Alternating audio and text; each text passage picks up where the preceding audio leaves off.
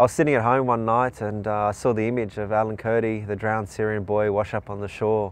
And you know, I did a bit of CSI on the, the photo and I looked at the body and I, you know, I worked out how he washed up and how long he would have been in the water by the colour of his skin and how his skull was facing towards the, the water. That means, you know, he'd been uh, violently drowned and he'd washed and he's, he kind of ended up face down because of the weight of his skull. And, uh, and when I looked at that image, you know, you know, it's pretty easy as a lifesaver and a lifeguard to kind of work out the, the mechanism of drowning.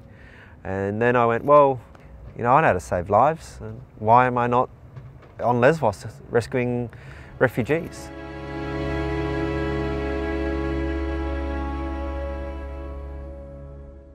There was a, a little kind of ad on my Facebook. International Lifesaving Association looking for lifeguards to go to uh, Lesvos, Greece to rescue Syrian refugees. The power of the universe just presented this and I clicked on, put in my details, put in my qualifications, got an email back, you're going, team one. Lifeguard Hellas was this Greek NGO who set up a kind of a team on Lesvos. They'd seen the crisis, they were Greeks and they were there to be part of their country and they had no real support. So they reached out to the International Lifesaving Association and said, yeah, we need professional lifeguards. And so they were the ones who were the family that invited us over. And we all kind of uh, had the first night of kind of getting to know each other, getting to know our experiences, you know, getting to know um, what brought us here.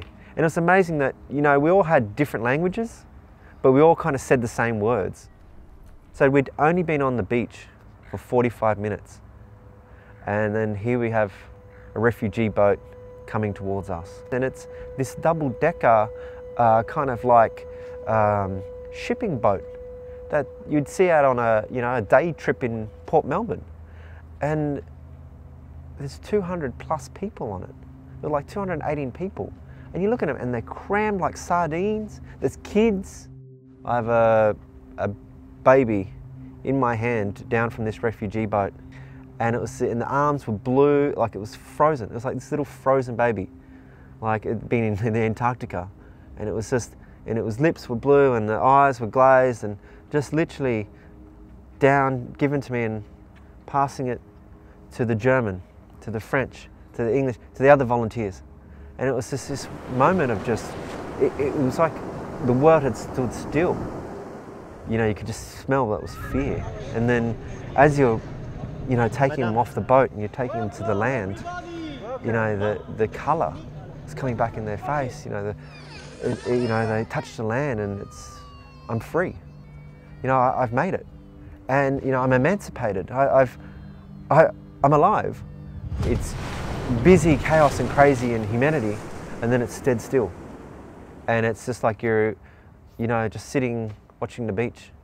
You know, there's nothing. And then all of a sudden, there's screaming fear, um, kind of chaos. Uh, and when it was calm and quiet, you know, we all had time to think. We all had time to reflect. And a lot of us were just looking at each other going, well, we've been on a plane for 24 hours. We'd been traveling. We landed and we just did probably the single most greatest things with our lives. That day, we just instantly changed our lives forever. You know, looking at the water, you know, it just looks like water, but it was a graveyard. You know, and the, the coast of Lesvos is a graveyard for many people. You know, when you look at it, when you look at death it's it's very very cold. It's very absolute. Well, you could imagine, you know, getting on that ferry at Sydney Harbour, going across to Manly, and on when you get to Manly, you're free for the rest of your life, and freedom is so close.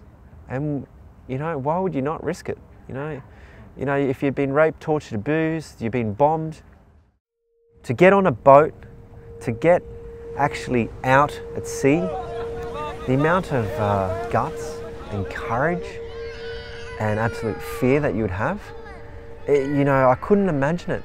I couldn't imagine saying to my mother, hey mum, we're going to escape this hellhole.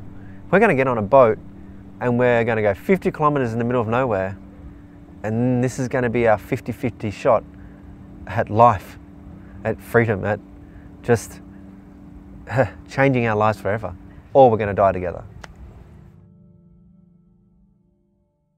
I'm the narrator of their story, of the people we, I rescued, and we, we did a wonderful job, but ultimately it is me on this side of the world that needs to tell you exactly what I saw because their story is way more powerful than mine.